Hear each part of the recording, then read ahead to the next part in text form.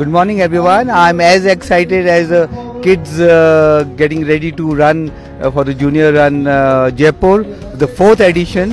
And I wish all the very best to all of them. I think they are all winners, and are, there's so much of enthu in them and so much of excitement.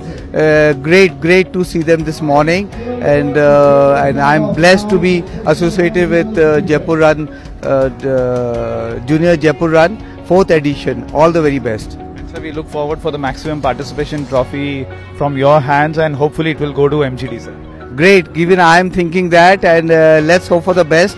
And uh, great to g- give this trophy every year in the memory of my sister Mala Mathur. Thank you. Thank you.